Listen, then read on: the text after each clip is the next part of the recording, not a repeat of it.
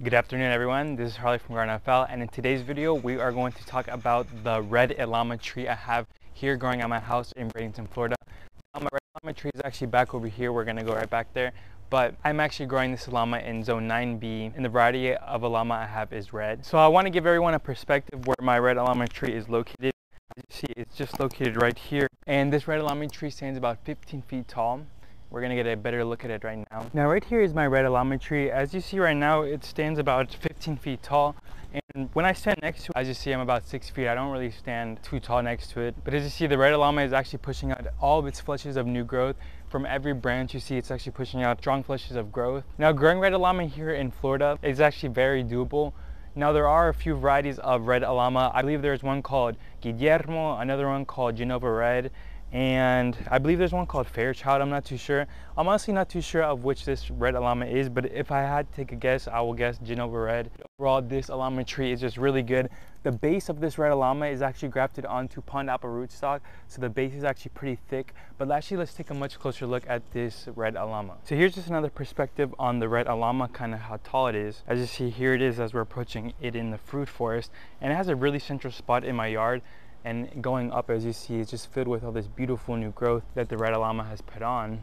As you see from the very top it actually started putting on new growth and getting closer to the red Ilama as you see we can observe the new leaves. These are the beautiful leaves of the red Ilama and actually the reason why it's called red Ilama is because the new growth is actually a really beautiful stunning red color. It actually reverts to a green color such as this leaf right here as it grows but as you see it's just a really beautiful deep maroon color some leaves may even be a darker maroon color maybe even appearing kind of purplish to black but that is just you know amongst the varieties of Ilama. Now like I said this Ilama does stand around 15 feet tall. Here we have a better look of the green leaves up top and something with red Ilama here in Florida is I've actually heard that the trees need to get very big before they actually start fruiting, while at least in their native environments is where they grow very big before they start fruiting. So that is the idea behind this red Ilama right here. I really want to grow it out to be really big. You know, I'm talking about maybe 20 to 30 feet and have a really big canopy on top of it. So that is another reason why I give this red Ilama such good space here at my house is just because I know that eventually one day it really needs to uh, be a big tree overall and it's under the canopy of the oak just because the oak provides it a nice microclimate because red Ilama is still cold tolerant you know it doesn't really handle the cold too well but nonetheless you know you could always create microclimates to help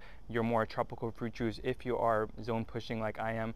So as you see look at this beautiful growth of the red Ilama it's just really pretty. The leaf is really reminiscent and you can even see the red line streak going in between the leaves. Now I actually want to talk about the base of this red Ilama because as you see the red Ilama is tall but the work is really where the base is and the roots and the soil. So like I said earlier this Ilama is actually grafted onto pond apple rootstock and the base itself is not the girthiest but it can be girthier now if I did trim this Ilama I believe the base would be girthier but you know I'm just letting it grow as it wants to. I really like the bark of the red Ilama. It's actually really smooth. And this is something I really like about the red Ilama too is the actual stem that it pushes out is like multicolored.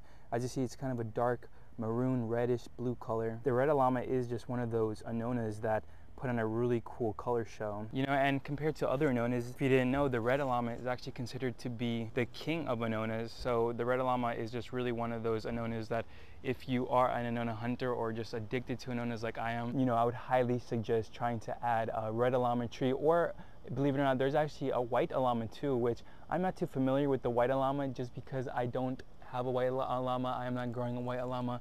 I'm only growing red. So, you know, but eventually I would love to add a white Ilama to my house, just showing you guys more kind of angles of my red Ilama to show you the size of it. As you see overall, it's just a really beautiful tree.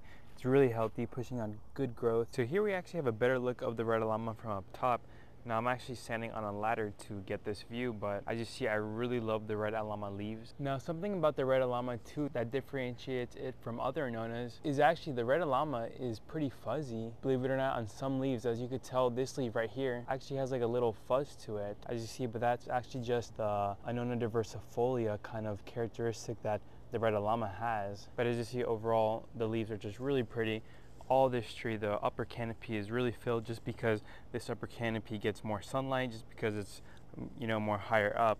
As you see, this is us. The tree overall is actually a really good height. I'm really happy to see this red Ilama so high. Overall, it's just a really beautiful tree, and I'm really looking forward to seeing it grow over the years.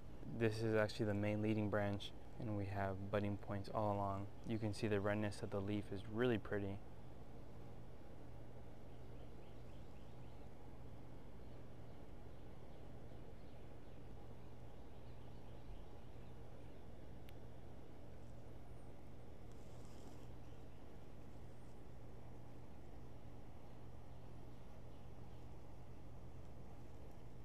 Tree stands about perhaps 15 feet I would say.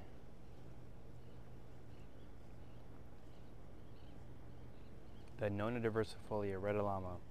And like I said, I'm not sure if it's Guillermo, uh, Genova Red, Fairchild, and it's definitely not a white ilama because as you can tell right here, red leaves, but beautiful specimen overall growing here in the food forest in Bradenton, Florida.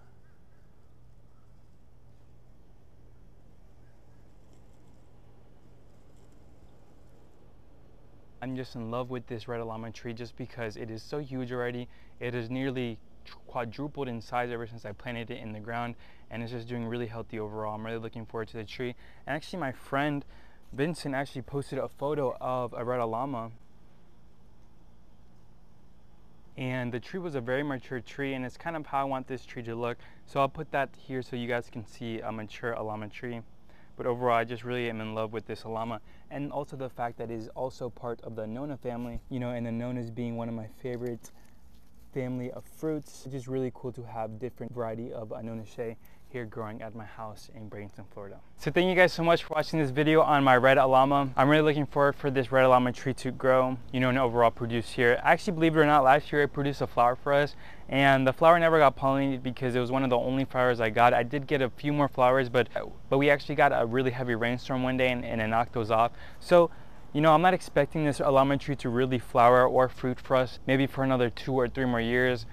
You know, I really want this tree to be really strong and thick and sturdy and tall too before I actually get a fruit out of it. So I am going to baby it for a few more years, but overall I'm really looking forward to harvesting scions to bring to my farm too because I do have a lot of pond apple rootstocks that are ready in the ground growing. So, you know, I'm really just looking forward to uh, seeing how this fruit tree is overall here in, uh, in our area.